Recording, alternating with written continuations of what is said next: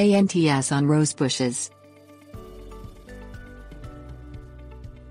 Ants are attracted to rose bushes because of another pest that has already taken up residence in the garden, the aphid.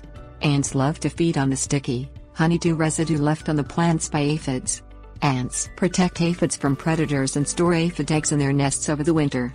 Then they carry the aphid eggs back to the garden in the spring. Damage to roses. Ants do not cause any physical damage to rose bushes.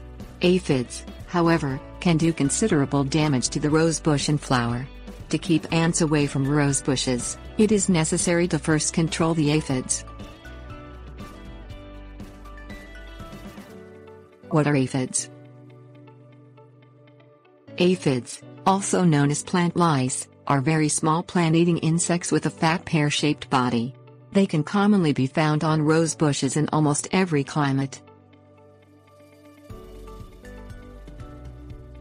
Natural aphids treatments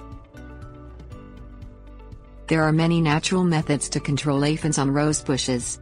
Inspect the underside of the plant leaves, beginning in the spring. Hosing the rose bush down with a good spray of water will knock the aphids off the plant, but ants are known to carry them back to the rose bush. If the leaves are heavily infested, prune rose bush and dispose of infected branches. Insecticide soaps made with neem oil is a chemical-free option to treat aphids. Chemical treatment To rid roses of aphids, a chemical spray containing pyrethrin is effective, but will also kill the beneficial insects in the garden. Beneficial plants Growing companion plants in the garden will attract beneficial insects that feed on aphids. A few plants that are highly effective are white sweet clover, hyssop, spearmint, queen anne's lace and sunflowers. Beneficial insects Natural enemies in the garden that love to feed on the aphids include ladybugs, parasitic wasps, lacewings and praying mantis. If there are not many ladybugs in the garden, they can be purchased at your local garden center.